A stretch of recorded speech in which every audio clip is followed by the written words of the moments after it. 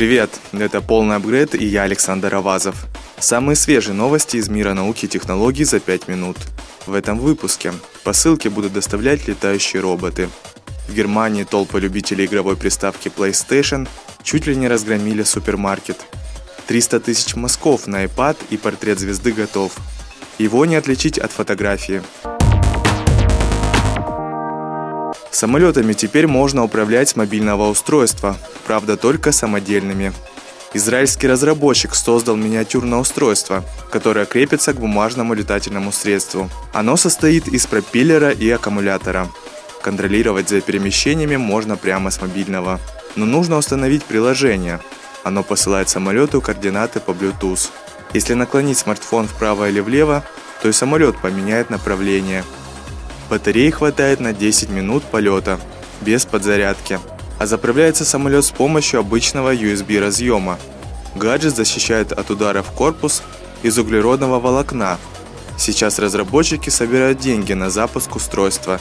Для этого им необходимо 50 тысяч долларов. Однако они уже перевыполнили план почти в три раза. Базовая конфигурация, пропеллер и аккумулятор обойдется в 40 долларов.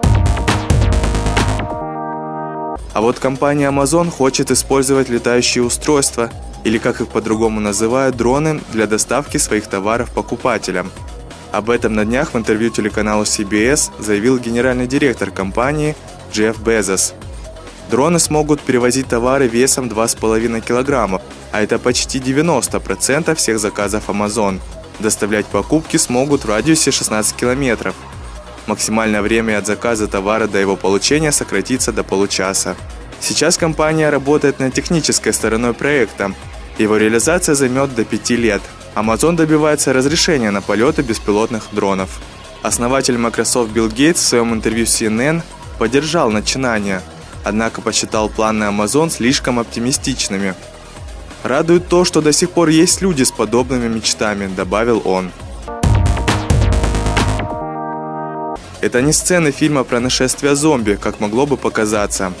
В Германии начались продажи четвертой версии PlayStation, и нетерпеливые геймеры хотели обогнать друг друга, чтобы поскорее купить новую игровую консоль. Продажи PlayStation начались в США по цене 400 долларов. За первый день продаж компания Sony удалось реализовать более 1 миллиона приставок, и это самый удачный старт продаж за всю историю компании. В России приставка появилась спустя две недели после США – 29 ноября по цене 19 тысяч рублей. Почти 300 тысяч мазков на iPad и портрет актера Моргана Фримена готов. Его не отличить от оригинала. На работу художника Кайла Ламберта ушло 200 часов. Получившееся изображение он назвал самым реалистичным из всех, что когда-либо были нарисованы пальцем. Портрет был полностью создан в графическом редакторе Procreate. Он запоминает каждый мазок и сохраняет работы видео.